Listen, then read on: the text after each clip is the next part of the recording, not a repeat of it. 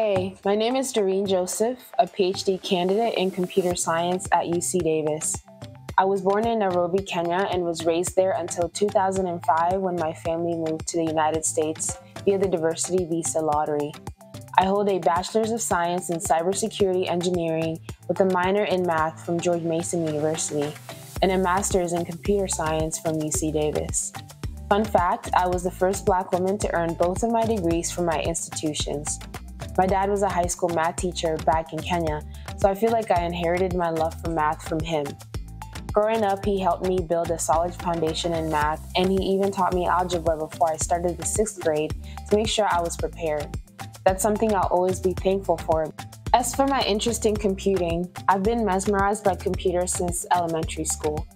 My favorite school assignments were always the ones that required using a computer, and every time my parents had a computer issue, I was always ready to figure it out. Funny enough, my parents still call me with computer questions, even though we're on different coasts now. I'm also a firm believer in the power of sharing our stories, and the AIC community is a great opportunity to not only tell my story to help others, but also to learn from the stories of fellow community members. It's no secret that the demographic makeup of computing needs improvement. So I aspire to lift as I climb by empowering students who are underrepresented and marginalized in STEM to take their place. After earning my PhD, I plan to continue lifting others as I pursue a research career in the security field. I am the future of tech.